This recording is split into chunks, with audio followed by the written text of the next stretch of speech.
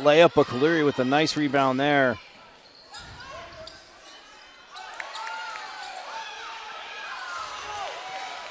But the rebound comes down to Desert Vista. Brimley will bring it up the court.